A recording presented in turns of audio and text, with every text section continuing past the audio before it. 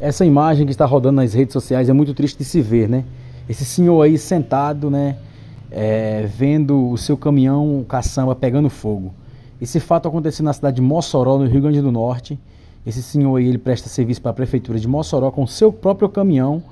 E segundo informações, ele ainda está devendo 10 mil reais para poder quitar o veículo.